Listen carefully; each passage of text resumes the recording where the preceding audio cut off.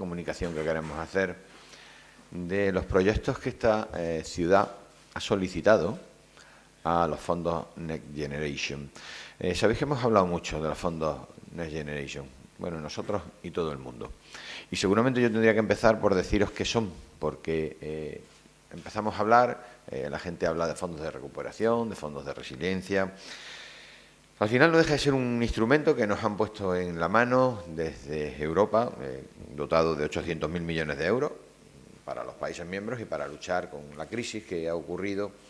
con, eh, o debido al coronavirus. En esta crisis, en esta pandemia que parece que estamos saliendo, que tenemos que estar orgullosos de los datos que hemos visto hoy publicados, porque creo realmente que no, es que hayamos doblado la curva, creo que ya eh, hemos terminado con todo y vamos a esperar eh, qué ocurre con la entrada del otoño-invierno.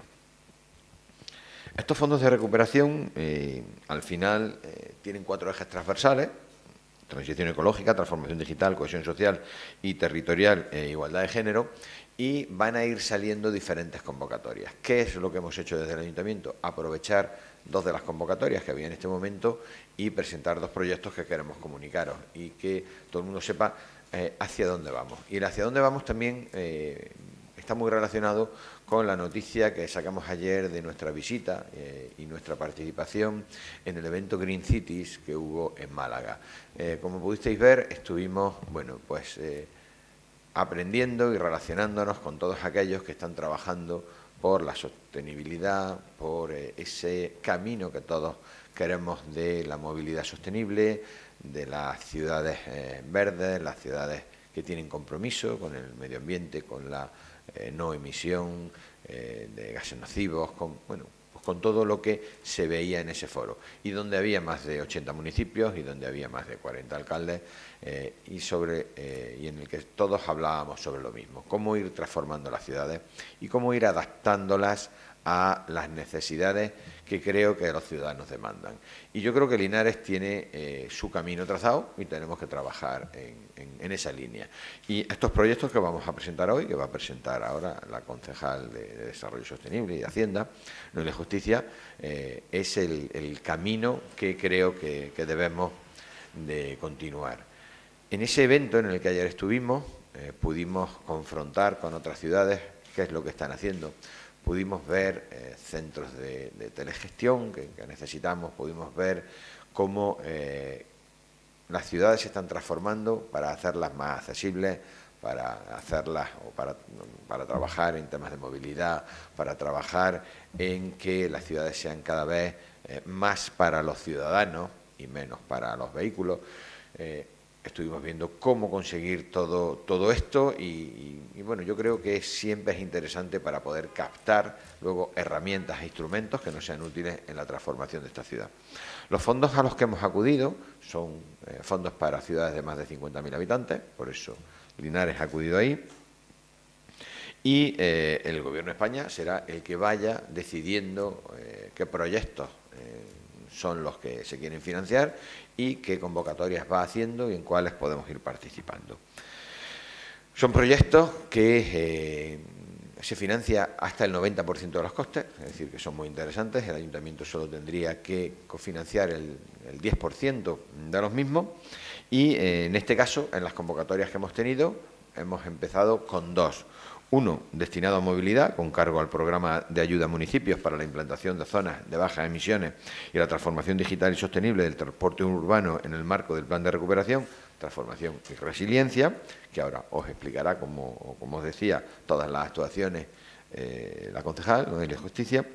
y el otro que hemos eh, solicitado de digitalización con cargo a la convocatoria de ayudas para el apoyo a mercados, zonas urbanas comerciales, comercio no sedentario y canales cortos de comercialización en el marco exactamente igual del plan de recuperación. Eh, yo hablar de peatonalización como tal eh, creo que no es eh, lo que perseguimos, lo que perseguimos es que la ciudad sea mucho más cómoda. A veces se consiguen los mismos objetivos haciendo las aceras mucho más grandes, eh, limitando el acceso a los vehículos, haciéndoles incómodo el, paso a los vehículos, que es lo que al final eh, hace que el ciudadano vaya concienciándose de, uno, el uso del transporte público, que creo que es lo más importante, porque el, transporte público tiende a ser totalmente eficiente, y dos, que los ciudadanos tengan eh, mejores zonas de paseo, de uso, disfrute, de... Yo creo que de eso es de lo que estamos hablando. Luego tendremos que tomar decisiones, y las decisiones no son siempre eh, de, agrado para todo el mundo. Yo recuerdo perfectamente cuando se empezaron a hacer las primeras obras del centro comercial abierto, que eh, bueno, pues había posiciones enconadas y tuvimos el rechazo de, muchos, eh, pero al final creo que se quedó un centro comercial abierto que fue un, que es un instrumento a gusto de todos. Pues poco a poco tenemos que ir transformando la ciudad. Y eh, hablar de que vamos a peatonalizar el centro me parece que es eh, hablar de algo que no es una decisión tomada, hablar de que vamos a hacer un centro mucho más cómodo, un centro mucho más amable, un centro que busca lo que dice la orden, es decir, una zona de bajas emisiones, pues solo puede perseguir el que eh, sea mucho más dificultoso el tránsito de, vehículos y que sea mucho más fácil el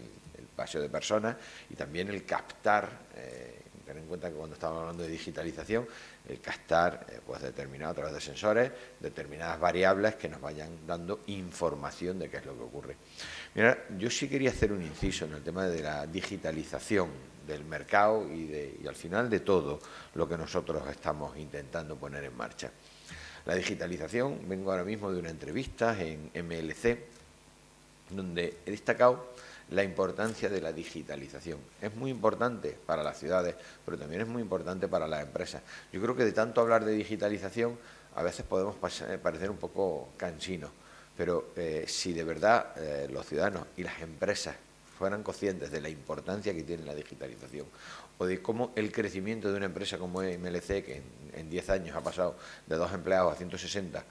eh, la importancia que ha tenido de la digitalización en esa transformación, en poder digitalizar todo el proceso de transporte del gasoil y de, llegar al cliente con un control eh, exacto a través de esa digitalización del gasto, seremos conscientes de que las empresas crecen a través de la digitalización y las ciudades crecen a través de la digitalización. Crecen en servicios, crecen en comodidad y eso es lo que estamos eh, persiguiendo cuando hablamos de digitalización, que no se le olvide a nadie, que no es un concepto manido y que digan, mira qué pesado el alcalde que siempre habla de lo mismo. No, es que soy un convencido de que la digitalización, la tecnología, la innovación son las que van a provocar la transformación de, esta ciudad. Este proyecto lo hemos denominado Movilinares y consiste en la creación de una, de una zona de, de bajas emisiones en la ciudad de Linares.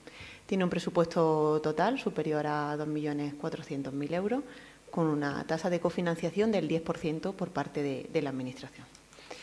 En este caso estamos hablando de, bueno, pues de, crear una zona de, bajas emisiones en nuestra ciudad, que al final, bueno, a grandes rasgos, eh, consiste en delimitar una zona urbana en la cual poder implementar estrategias de, desarrollo urbano sostenible, de movilidad sostenible y de, control de, emisiones.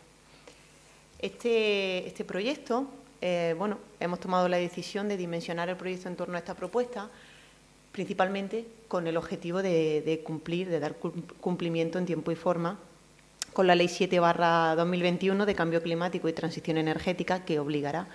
a que las ciudades de, mayor, de más de 50.000 habitantes antes de final del 2023 cuenten con una zona de bajas emisiones. Este proyecto eh, cuenta con, una serie de actuaciones que, bueno, que son muy amplias, que son muy genéricas y que yo os las voy a contar por encima para que se pueda entender más o menos en qué consiste esto de la creación de una zona de, bajas emisiones. En primer lugar, pues bueno, la primera actuación consiste en la creación y el diseño de la propia zona con el estudio previo eh, que, esto, que esto conlleva.Nosotros hemos planteado inicialmente que esta zona de cobertura al, centro comercial abierto y al casco antiguo, bueno, con el objetivo de, centrarlo en la, almendra central, valga la redundancia, de nuestra ciudad. Dentro de, de algunas actuaciones que también contempla este apartado pues está la actualización de nuestro plan de movilidad urbana sostenible, que en la actualidad cuenta eh, con una fecha, eh, data del 2012. ¿no? Hay que actualizarlo a la nueva estrategia de desarrollo urbano. La segunda actuación consiste en, la implantación de sistemas de alquiler y cash sharing de, de bicicleta y vehículos eléctricos. Eh, hemos planteado la implantación o la instalación de ocho estaciones de, este tipo de, pues de, elementos de movilidad eléctrica en nuestra ciudad, con el objetivo de desarrollar desde esta zona de bajas emisiones principalmente dos bueno, corredores limpios que le hemos venido a denominar en el proyecto, que uno iría de la zona de bajas emisiones hacia el campus científico-tecnológico y otro iría de la zona de bajas emisiones al Parque Empresarial de Santana bueno, pues con el objetivo de, favorecer el uso de, este tipo de vehículos dentro de, estos, dos colectivos. La tercera actuación sería la adecuación física de espacios urbanos de la, propia zona de bajas emisiones con el objetivo pues, bueno, de mejorar la infraestructura y la, señalización. Al final, lo que, perseguimos con todo esto es buscar la, seguridad y la comodidad de la ciudadanía dentro del tránsito de esta, de esta zona de bajas emisiones con el objetivo pues, bueno, de, que, de favorecer que todo su recorrido eh, o todo su, el transporte de, último, de último tramo eh, que se desarrolla de manera cotidiana y recurrente, pues bueno, sea lo más agradable posible. Con esto se, se suelen desarrollar actuaciones del tipo de, bueno, ensanchar los acerados, mejorar la iluminación, mejorar la jardinería y hacer como un centro de la ciudad más, cómodo. La cuarta, la cuarta, actuación sería medida eh, destinada a calmar el tráfico rodado. En el, en, en el, entorno de la zona de bajas emisiones y en su, y en su perímetro, proponiendo eh, y fomentando itinerarios alternativos a la circulación tradicional. La quinta medida sería la digitalización del transporte público. En este sentido, eh, nos ha parecido muy interesante proponer una tarjeta, ciudadana inteligente que, favorezca la intermodalidad entre todos los servicios públicos de transporte. El objetivo pues, bueno, es proponer una tarjeta a través de la cual pueda utilizar todos los servicios de transporte público y pueda integrar, se pudiera integrar también estos dos, estas dos nuevas modalidades de transporte sostenible que serían tanto la bicicleta eléctrica como este car sharing, que serían pues, bueno, coches pequeñitos eléctricos para entenderlo un poco todos, que los podemos ver en cualquier gran ciudad ya por el centro. ¿no? Y por último, pues bueno, consistiría en el desarrollo y en la puesta en marcha de una serie de, aparcamientos disuasorios que, bueno, pues que persiguen promover la rotación de, la gente y favorecer que la gente deje su vehículo fuera de esta zona de bajas emisiones. Este proyecto, eh, como, hemos comentado, está por encima de, dos millones de euros, un proyecto que, bueno, que se debería de ejecutar antes de la finalización del 2023 y que por el tipo de actuaciones que persigue y por el, el enfoque bueno, y la y el impacto que puede tener en el cambio de modelo de vida de la ciudadanía en todas las actuaciones, absolutamente en todas las actuaciones, prevé la participación ciudadana y, por supuesto, el consenso social en la implantación de esta, de esta zona de, de bajas emisiones. creación de la zona de bajas emisiones primero prevé el análisis y el diseño de la propia zona. Es decir, em, estamos hablando tanto a nivel eh, normativo como legislativo eh, de, una serie de conceptos que en el ámbito urbanístico han avanzado mucho en muy poco tiempo. Entonces, efectivamente, la convocatoria prevé el propio diseño de esta zona de bajas emisiones, como digo, con estos procesos de, consulta y de participación ciudadana también. ¿no? Y bueno, y a partir de aquí, eh, en lo que realmente consiste es en hacer un análisis previo, en delimitar esta zona y posteriormente en ir integrando una serie, bueno, de este análisis también saldrán el tipo de dispositivos que se implantan en esta zona. Pero bueno, al final son dispositivos que están enmarcados en el ámbito de, la Smart City, que son, son sensores, son mejora del mobiliario y va a depender de la delimitación final de, esta zona, tanto la actuación en materia de infraestructura como en materia de digitalización.